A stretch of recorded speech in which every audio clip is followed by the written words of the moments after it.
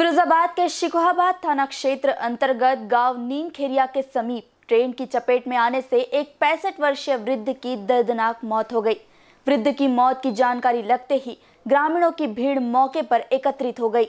ग्रामीणों ने घटना की सूचना जीआरपी शिकोहाबाद को दी। सूचना मिलते ही जीआरपी पुलिस मौके पर पहुँची और वृद्ध के शव को कब्जे में लेकर पोस्टमार्टम के लिए जिला अस्पताल भिजवाया। दोपहर तीन बजे के करीब एक वृद्ध अचानक मालगाड़ी की चपेट में आ गया, जिससे उसकी मौत हो गई। फ़िलहाल वृद्ध की पहचान नहीं हो सकी है। जीआरपी पुलिस वृद्ध की पहचान करने का प्रयास कर रही है।